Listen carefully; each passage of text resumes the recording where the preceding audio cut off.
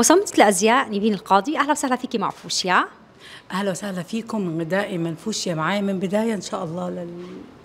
لأكبر مكان. خلينا نحكي عن أحدث صيحات فساتين الأعراس لهذا العام خاصة أنه عندك collection جديد للعام الجديد. هو عم عم نتجه فعلا. تحسي ان مصممين الأزياء كلهم بيتجهوا لل للمجتمع العربي أكثر بلشوا إن إحنا نخاطب مجتمعنا العربي أكثر في أكثر حشمة. في أكثر تاتش شرقي أكثر فهو هذا 23 وأعتقد لما بعد. آه، اللي بيتابع مجموعتك نيفين بيلاحظ إنه اختلاف بالقصات بتفصيله القبه بالشك. احكي لي عن كل فستان كيف اخترتي؟ كل فستان له حكاية لعندي وكل فستان بخاطب فيه حدا. بخاطب دائما المرأة بتحب تظهر بالذات في يوم عرسها. آه، بشكل جميل جدا ومبين تفاصيل جسمها بجمال. فخطبت الكيرف منيح جدا. آه، رعيت المحجبة والمش محجبة. رعيت إن كمان يكون كل تصميم بينتمي لأنا لشخصيتي أنا.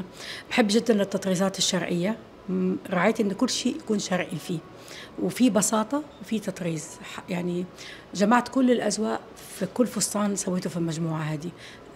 المنفوش سندريلا ال two pieces عشان تغير العروسة تكون مختلفة تكون two look مختلفين.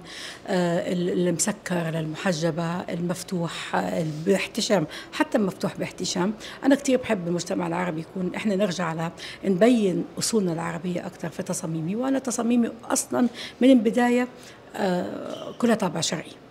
نيفين ما بين تصاميم فساتين العرس والفساتين السهرة والقصات العادية في فرق بالتصميم بين النوعين؟ آه طبعا.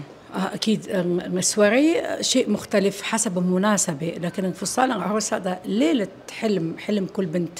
فلما بيكون عندك آه، ال- ال- اليوم المميز هذا لكل بنت فلازم يكون في كل تفصيلة مميزة. حتى لو كان فستان very simple بيكون كمان مميز بالقماشه بتتحدث عن نفسها.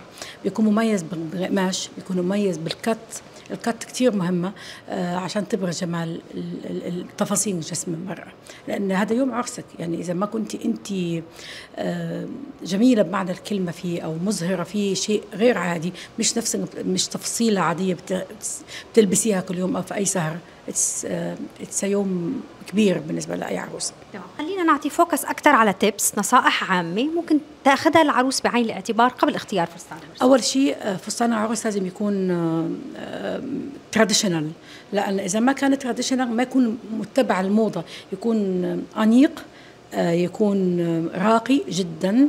لأن آه، الصور آه، الازياء إذا فستان العروس بالذات ما ما بيتبع الموضة.